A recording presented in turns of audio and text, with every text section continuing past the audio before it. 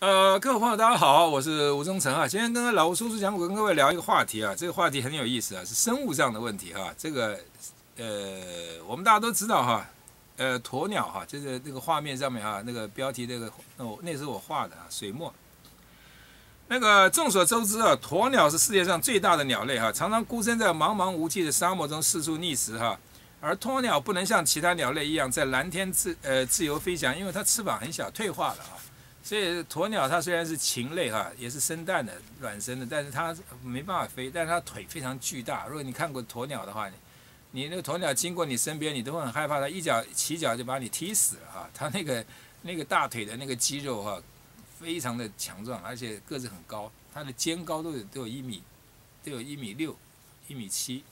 啊，那么高大。然后它的头又非常的高，脖子很细长啊，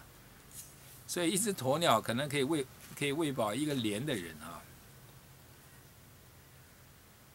那只能凭借一双长而有力的腿哈，像苦行僧般孤独的跋涉啊。遇到有敌害在后面紧追不放时啊，鸵鸟总是一阵猛跑，将敌人甩出一段距离，然后将脖子紧紧的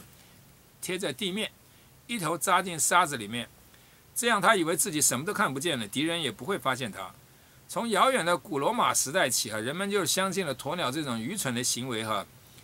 后来传到希腊，最后又从阿拉伯传到中国，直到今日，我们在对周边还呃对周遭还常常听到有人形容那些不敢正视现实的人举动为鸵鸟政策，也就是说鸵鸟心态啊，把头埋在沙发里就又又一切都看不见了啊。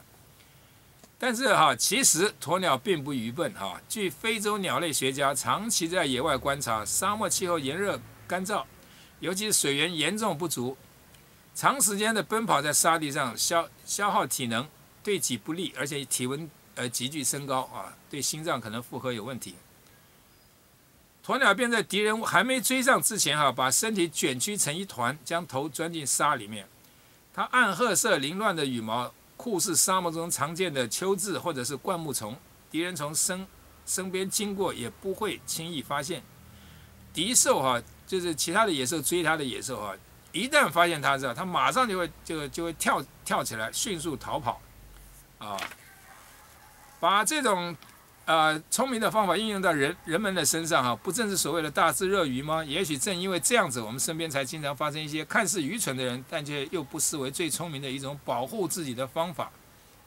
所以哈，因此你必须在必要的时候，你要学会做一个愚人来保护自己哈。在这个这个鸵鸟心态啊，实际上我们对鸵鸟的误解哈。就是如果说你不仔细去研究的话，你就会以为说它是一个逃避现实的一个，实际上它完全没有逃避现实，它在观察，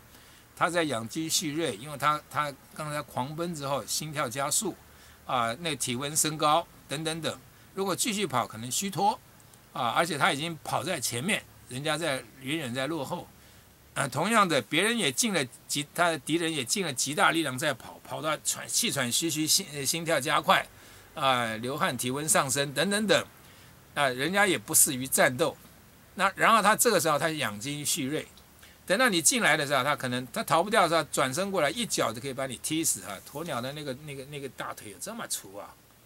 比比人的大腿粗了大概三倍啊。各位，如果你看过鸵鸟，你就知道一个鸵鸟蛋有这么大，跟篮球那么大啊。以上跟各位分享哈。